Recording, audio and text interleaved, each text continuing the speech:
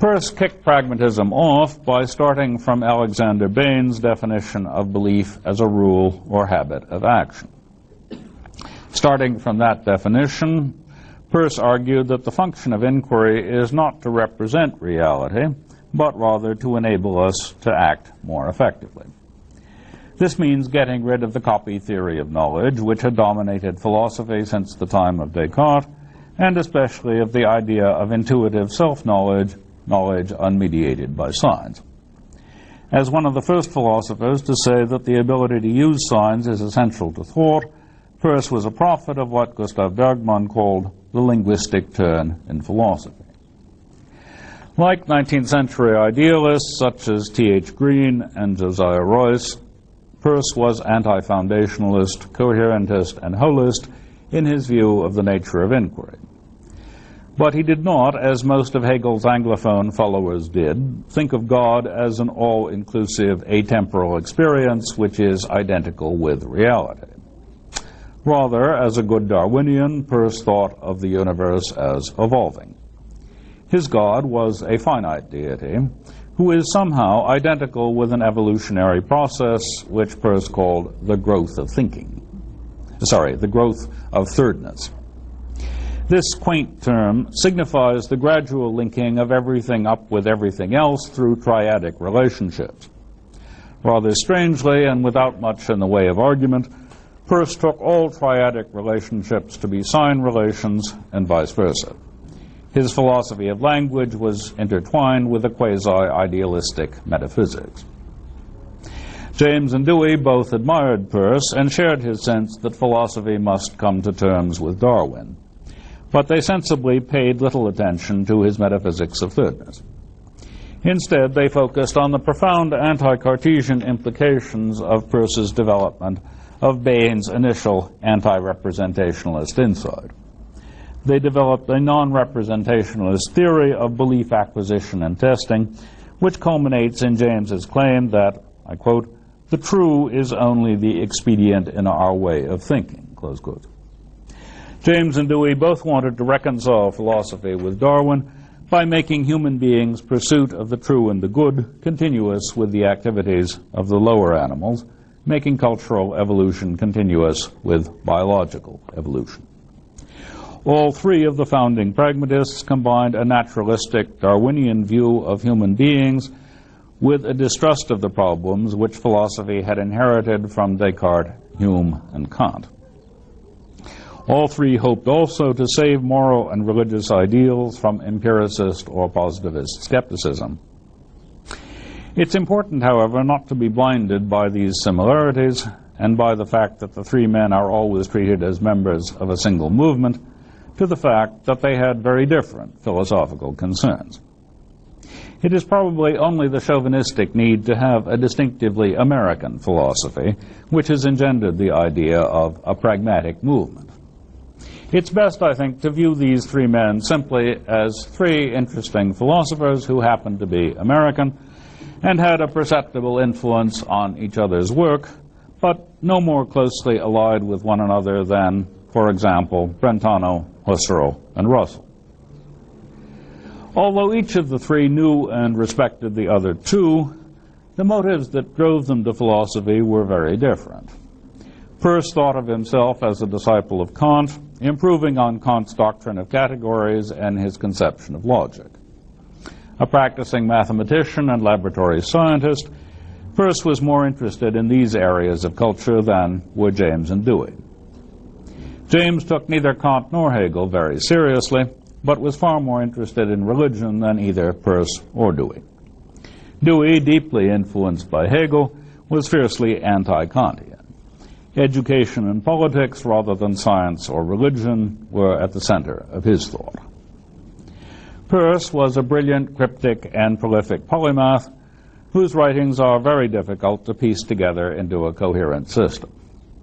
Peirce protested James's appropriation of his ideas for complex reasons having to do with his obscure and idiosyncratic metaphysics, and in particular with his doctrine of scotistic realism, the doctrine of the reality of universals, which Peirce sometimes considered as triadic relations, sometimes as sign relationships, sometimes as potentialities, and sometimes as dispositions. Peirce was more sympathetic to idealism than James and found James's version of pragmatism simplistic and reductionist. James himself, however, thought of pragmatism as a way of avoiding reductionism of all kinds and as a counsel of tolerance. Although he viewed many metaphysical and theological disputes as, at best, exhibitions of the diversity of human temperament, James hoped to construct an alternative to the anti-religious, science-worshipping positivism of his day. He approvingly cited Giovanni Papini's description of pragmatism as, I quote, like a corridor in a hotel. Innumerable chambers open out of it. In one you may find a man writing an atheistic volume. In the next, someone on his knees praying for faith. In a third, a chemist investigating a body's properties. They all own the corridor, and all must pass through it. Close quote. James's point was that attention to the implications of beliefs for practice offered the only way to communicate across divisions between temperaments, academic disciplines, and philosophical schools. In particular, such attention offered the only way to mediate between the claims of religion and those of science. Dewey, in his early period, tried to bring Hegel together with evangelical Christianity. Although reference to Christianity almost disappear, references to Christianity almost disappear from his writings around 1900, in a 1903 essay on Emerson, he still looked forward to the development of what he called, quote, a philosophy which religion has no call to chide and which knows its friendship with science and with art. Close quote. The anti-positivist strain in classical pragmatism was at least as strong as its anti-metaphysical strain. Dewey urged that we make no sharp distinction between moral deliberation and proposals for change in socio-political institutions or in education. He saw changes in individual attitudes, in public policies, and in strategies of acculturation as three interlinked aspects of the gradual development of freer and more democratic communities and of the better sort of human being who would be developed within such communities. All of Dewey's books are permeated by the typically 19th century conviction that human history is the story of expanding human freedom and by the hope of substituting a less professionalized, more politically oriented conception of the philosopher's task for the Platonic conception of the philosopher as spectator of time and eternity. He thought that Kant, especially in his moral philosophy, had preserved that Platonic conception.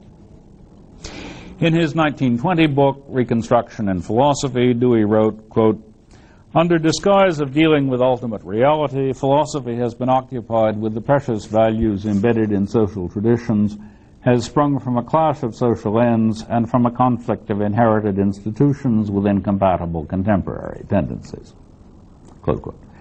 For him, the task of future philosophy was not to achieve new solutions to traditional problems, but to clarify, I quote, men's ideas as to the social and moral strifes of their day. This historicist conception of philosophy, which developed out of Hegel's and resembled Marx's, has made Dewey less popular among analytic philosophers than either Peirce or James. Dewey's intense concern with parochially American political and social issues has also served to limit interest in his work. Yet, precisely because of his self-conscious historicism, Dewey was, I shall be arguing in these lectures, the classical pragmatist whose work may have the greatest utility in the long run. Whether or not Dewey is the most useful of the three classical pragmatists, Peirce seems to me the least useful. Although he wrote more than either of the other two, and was perhaps the most professional of the three, his thought lacked focus and direction. Contemporary philosophers who call themselves pragmatists typically take over only one thing from Peirce, his substitution of talk of signs for talk of experience. Instead of signs, however, they speak of language, which means excluding what Peirce called icons and indices from the realm of signs and including only what Peirce called symbols. It seems safe to say that if Peirce had never lived, it would have made no great difference to the history of philosophy, for Frege would have made the linguistic turn single-handedly. Some contemporary philosophers, such as Hilary Putnam and Jürgen Habermas, give Peirce an importance that I would not give him. That's because these two philosophers take over Peirce's definition of truth as that to which opinion is fated to converge at the end of inquiry, and his definition of reality as what is believed to exist at that convergence point. I don't find that notion of convergence clear or helpful for reasons that I'll be giving tomorrow. My main reason for thinking Peirce relatively unimportant, however, is that he does not become engaged in the way in which James and Dewey did become engaged with the problem which dominated Kant's thought and which was at the center of 19th century thought in every Western country, the problem of how to reconcile science and religion, how to be faithful both to Newton and Darwin and to the spirit of Christ. That problem is the paradigm of the sort of conflict between old ways of speaking and new cultural developments which Dewey took it to be the philosopher's task to resolve. The need to reconcile science and religion was all important for Dewey during his first 30 years and for James throughout his life. By contrast, Peirce's discussion of this issue consists of, sorry,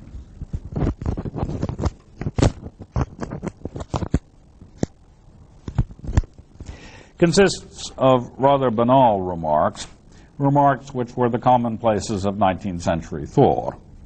We find Peirce saying, for example, that the apparent clash between these two areas of culture is the result, quote, of the unphilosophical narrowness of those who guard the mysteries of worship. Peirce rejects the suggestion that, quote, he is to be prevented from joining in that common joy at the revelation of enlightened principles of religion which we celebrate at Christmas, Christmas and Easter, because I think that certain scientific, logical, and metaphysical ideas which have been mixed up with these principles are untenable. He says that the only distinctive thing about Christianity is the idea that love is the only law, and that Christianity's ideal is, quote, that the whole world shall be united in the bond of a common love of God, accomplished by each man's loving his neighbor, close quotes. This is a pretty standard 19th century Anglophone way of following up on Kant's religion within the limits of reason alone. It amounts to saying that you can have Christian ethics without Christian theology, and therefore without interfering with Newtonian cosmology or with Darwinian accounts of human origins. This easy compromise struck James and Dewey as it struck Nietzsche as too easy. That's because these two men took religion a lot more seriously than Peirce ever did. Peirce was raised an Episcopalian, claimed that it was the only religion for a gentleman, and experienced, as far as we know, no great spiritual crises which expressed themselves in religious terms. James, however, was raised by his eccentric father on a kind of idiosyncratic blend of Swedenborg and Emerson. Though he and his siblings had the good sense not to take their father's idiosyncratic theological ideas with any great seriousness, William took his father's religious experiences very seriously indeed. He suffered the same sort of spiritual crises as had afflicted Henry James Sr., and was never sure whether to describe them in psychological or in religious language.